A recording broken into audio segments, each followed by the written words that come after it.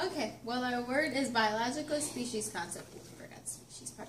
It, it, this means a reproductive of populations that occupies a specific na- nature. A reproductive isolation, which has to do with this, it, it's a mechanism preventing two specifics from mating and reproducing visible offspring. And if that doesn't happen, then you have a hybrid, which is an offspring that results from interspecies mating.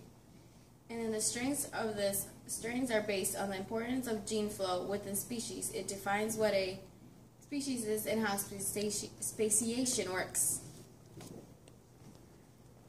I'll do this. Anyway, so you, those words probably have no you have no idea what they mean. So here's an example: mate with the fish. That that just can't happen because they're not the same species. And then it's normal for a guy and a girl to have a kid.